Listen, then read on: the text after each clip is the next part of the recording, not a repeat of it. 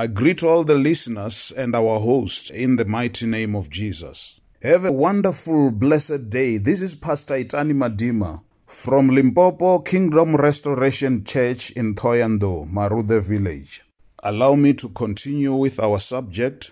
Last week we are addressing the issue of the old versus the new covenant, and we are continuing on the same subject.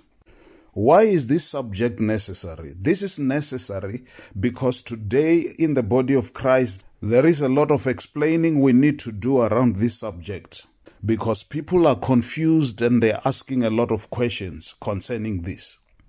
When you go all over social media today, you will find a lot of questions about this subject, particularly about the law versus grace, the old versus the new covenant. This subject has always been the elephant in the room. People have been tiptoeing around it, avoiding to tackle it or to address it. But I think recently it has gone to boiling point. We can't afford to ignore it any longer. We need to address it. Let's go into our subject. Today I'm talking particularly about knowing God. Our scripture reading is from the book of Hebrews, chapter 8. They will know me from the least of them to the greatest of them. This is the promise of the new covenant. It's not just those who are considered great in the kingdom who will know God. Yes, they will know me. Who are they?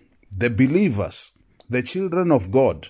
This is the promise of the new covenant to all the children of God not just the greatest in the kingdom, but even the least of them, the Bible makes a promise to us. They will know me from the very least of them.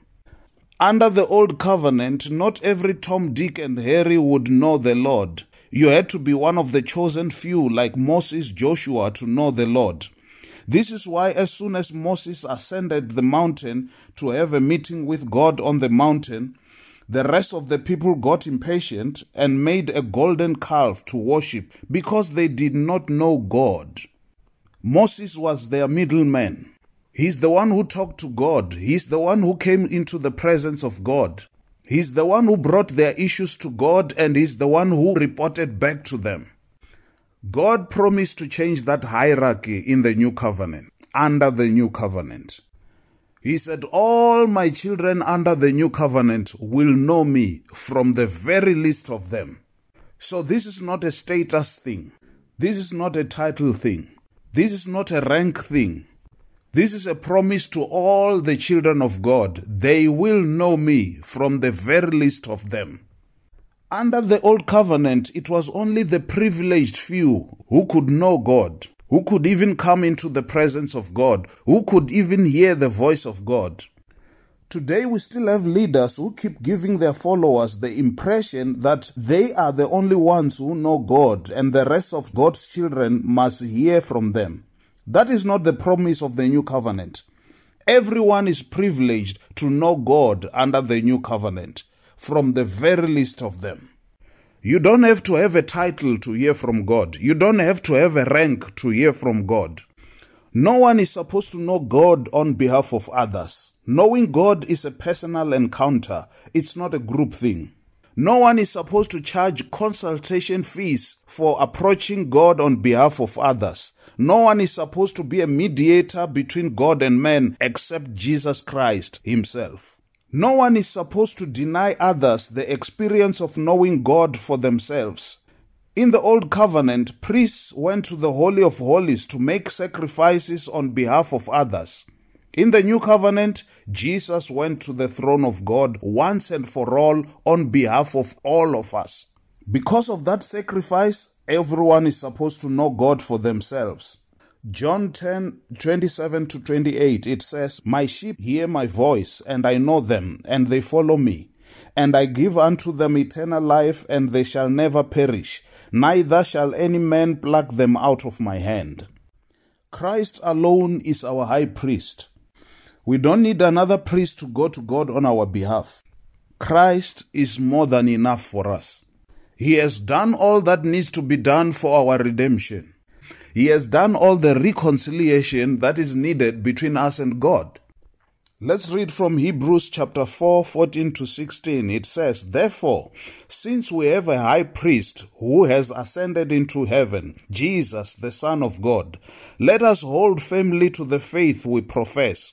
For we do not have a high priest who is unable to empathize with our weaknesses, but we have one who has been tempted in every way, just as we are, yet he did not sin. Let us therefore approach God's throne of grace with confidence so that we may receive mercy and find grace to help us in times of need. According to this scripture, we need to enter boldly into the throne of grace, not apologetically. Brothers and sisters, we do have a high priest. We are not looking for a high priest. Christ alone is our middleman.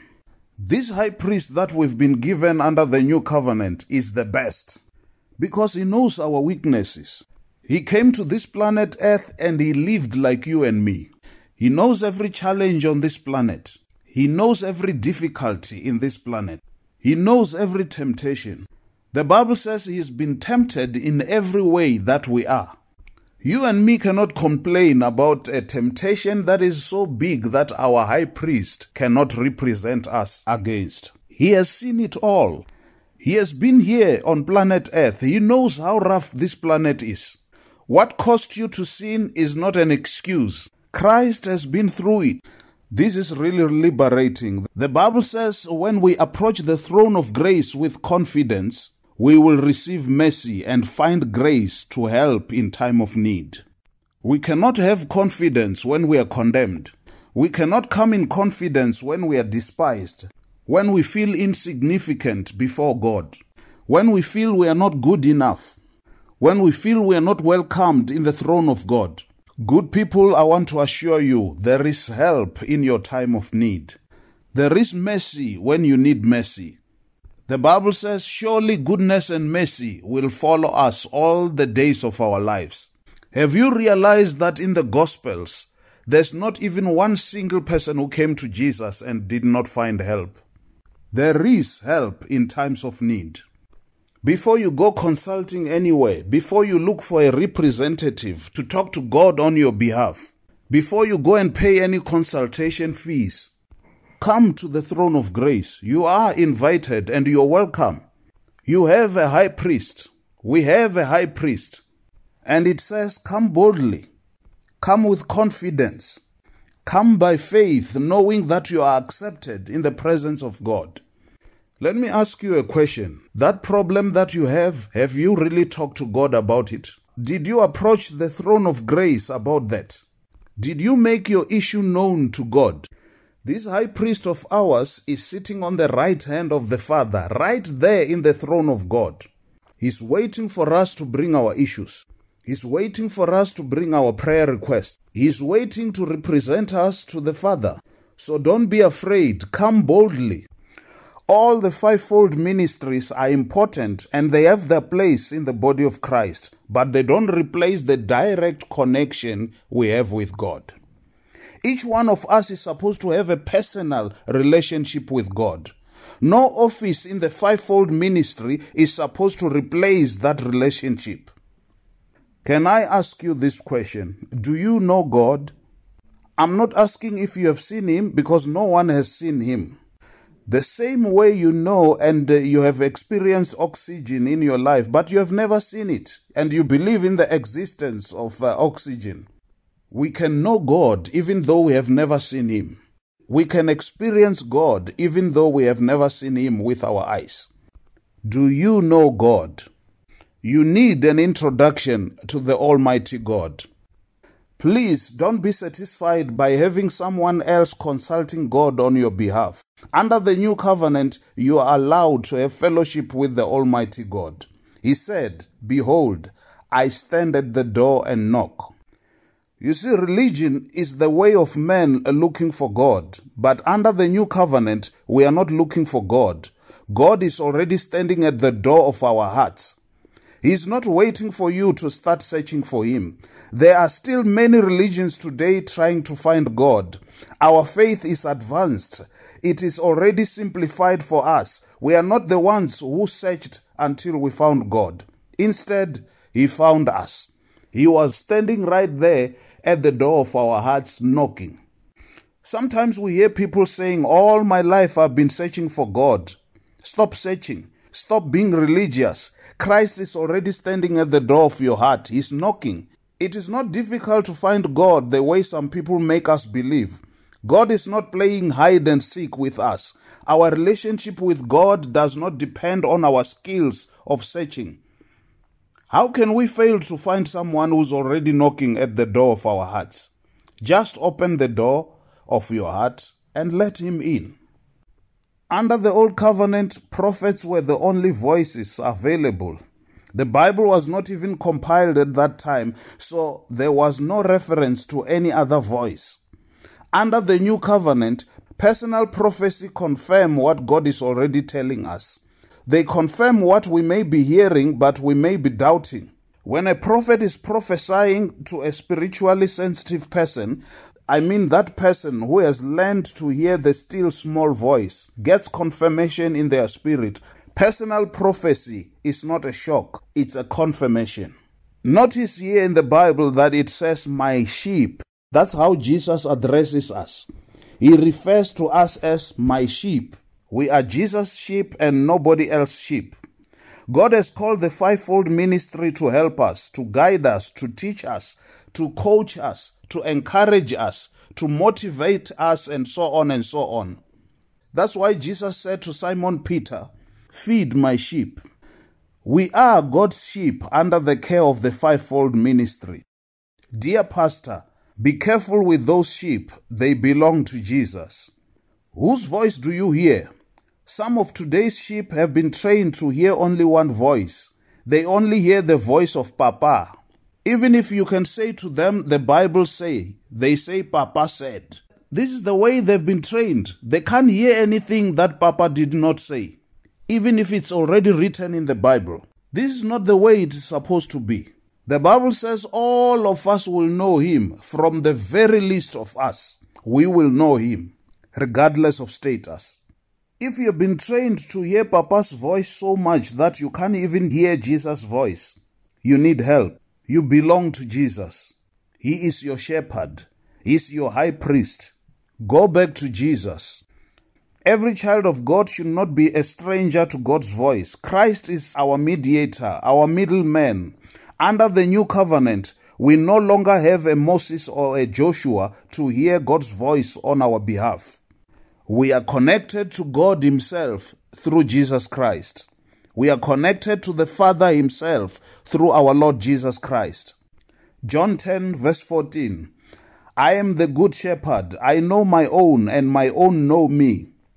This whole Christian experience is about knowing Christ. The new covenant is about knowing God for ourselves. It is not about knowing a religious leader. Religious leaders are good for our coaching. They give us more knowledge about Christ so that we know Him better. The more we hear about Him, the better we know Him. So let's continue to respect those who feed us with the Word of God because they make us to know Him better. First John chapter 4, verse 6 to 7. We are from God. Whoever knows God listens to us. Whoever is not from God does not listen to us. By this we know the spirit of truth and the spirit of error. Beloved, let us love one another, for love is from God, and whoever loves has been born of God and knows God. The new covenant is a covenant of love. Whoever knows God knows love. You cannot be in the presence of God and not experience love. John 13, verse 35, it says, by this will all people know that you are my disciples, if you have love one for another. God is love. Whoever comes into contact with God will have this one characteristic of God to prove that he knows God. The same way we cannot jump into a pool of water and come out dry. If we jump into the pool, we'll come out wet because that's what water does. It makes you wet. That's why you cannot come into the presence of God and not experience love, because He is love. As a new covenant believer, do you seek to hear His voice or are you happy to hear from everybody else? Don't you see that there are too many voices and too many contradictions? If you don't learn to hear God for yourself, you will be confused. There are many good men of God who are advising us, who are feeding us with the word of God. But we also need a confirmation in our spirits to differentiate the good men of God from all the scams that are there. Hey, if we don't know the difference, we are in trouble. There are too many doctrines. There are too many beliefs. You need to know from the confirmation of the Holy Spirit what is good for you. Listen to the still small voice from the inside of you. Under the old covenant, the children of Israel were confused most of the time because they had no direct connection with God Himself. There was always a middleman. We have graduated to a better system under the new covenant. God wants to know you and He wants you to know Him. It is that knowledge of Him that will make you not struggle to know between fake and real. How many times will you go from one ministry to another looking for truth? How many times will you be deceived? How many times will you be lied to? It is time to know God. It is time you learn to hear from God. Have a wonderful, blessed day. This is Pastor Itani Madima from Limpopo Kingdom Restoration Church in Toyando, Marude Village.